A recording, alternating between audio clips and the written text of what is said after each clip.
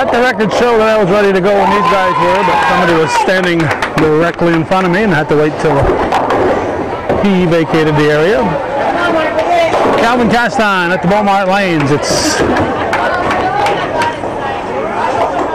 4.05 p.m. here, 4 o'clock scheduled start, so it's going to be a, a brief visit to the Walmart high school bowling. It's the. We're going to be out of here at 5 o'clock. No matter what is happening here, even if somebody's rolling a perfect game, we're still out of here. We have uh, to get to the basketball court for for basketball, and uh, the Cougar games originally scheduled to start at at 3:30, but the new schedule for the high school, where they come in later and leave later, the 3:30 start times haven't been practical. So they uh, moved their start time to 4 o'clock, which really gives me problems. Justin LePan hasn't opened. The A boys are here, the girls are here, and the B boys are over that way. We're going to try to mention everybody's name at least once during the course of events.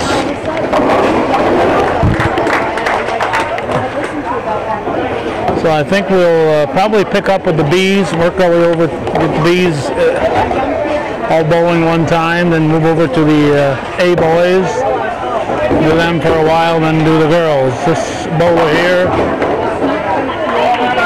this bowler here on 15 and 16. For the Cougars, it's uh, Stephen Mayo. And looks like the fourth bowler for AuSable Valley. So that would be Brian Thomas. Mayo misses spare. Thomas will pick up his. That'll bring up Charlie Lacey. Cougar B team has just four, so they blow over the ball line spot, so that uh, makes it tough to uh, pick up any uh, victories in the B games. It's like a 2-7 to me. Like a 2-7 left. Now we have the lead bowler Tyler Atkins up for the Patriots, and he gets a strike. So well done, Tyler Atkins.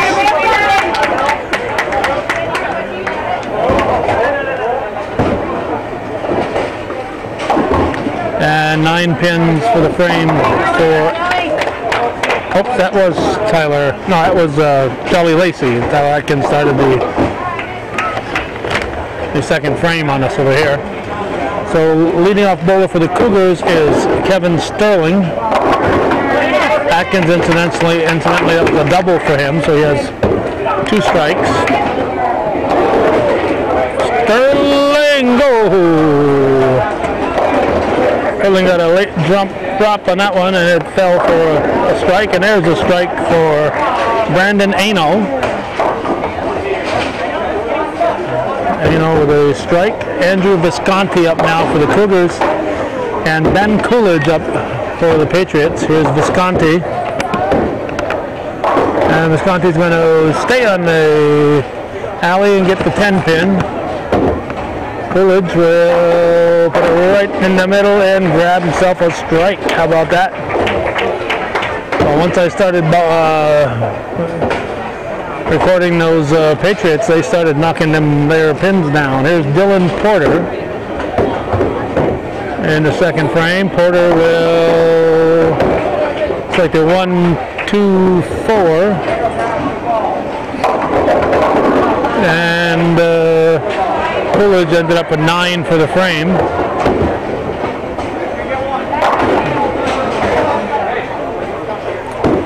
Now we're back to Porter. We watch the fan throw ball there.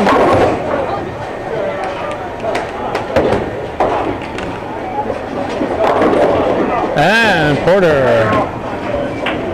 Hey, Porter, got them all down.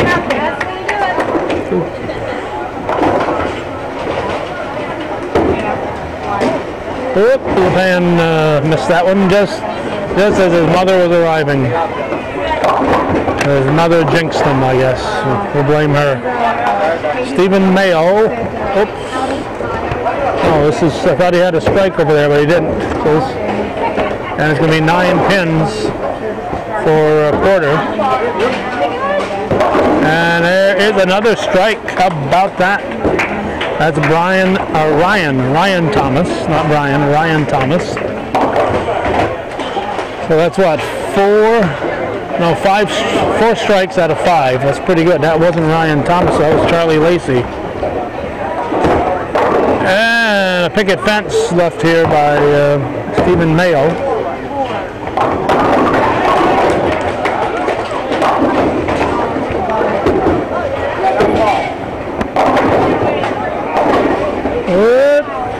interesting little drop there for Sterling. We're going to get, we decided we're going to get 10 minutes of the B team and then uh, move to the A's and then finish up with the girls. Nice job there by Mayo to pick up that picket fence, a little domino effect. There's Sterling. So we're at six and a half minutes, another three and a half minutes of the B boys, and we're going to move over to the A boys. And this is uh, Tyler Atkins. He's working on a double. Starting the third frame, and he pulls it to the left. Gets a pretty good drop considering everything. Leaves the, it's like the uh, 156 if I'm not mistaken, or maybe the, no, maybe the uh, 3, no, like the 3-6, that'd be the 396 and he leaves the double wood part of it. Roughly a nine pin. I think a nine pin. Looked at from this angle. There's the Visconti. The Visconti gets an open. And a strike for Brandon Ano. Ano. Eight doubles. He's marked in every frame. So we'll have Ben Coolidge for the Patriots, Dylan Porter up for the Cougars.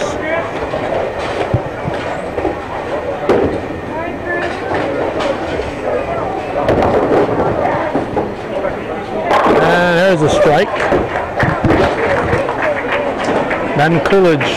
Uh, Sable Valley wants me to, wants to hire me to follow these guys around with a camera. They seem to bowl pretty good. The camera rolling. And double wood, there's a 3-9. Here's a, a split, a nasty. Oop, so it's going to be a 4-10 split for Ryan Thomas.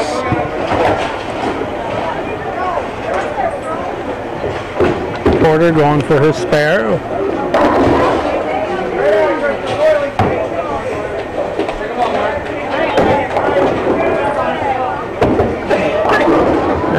he's going to put it in the gutter. And another gutter ball over there for uh, Ryan Thomas.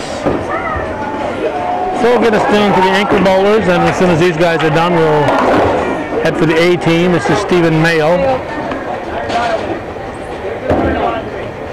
Mayo's going to put a gutter ball down there.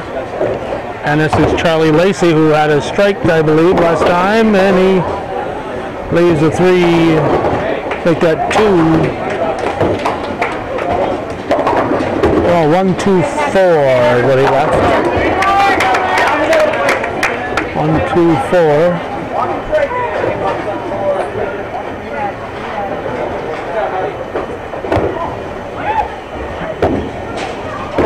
And Mayo will get about three or four for the frame. Going to get a drop. He got the spare. He's not quite sure how, but at least he got the spare. And Looks like Justin LePan just had a strike. We're going to uh, move over and cover the A's right about now.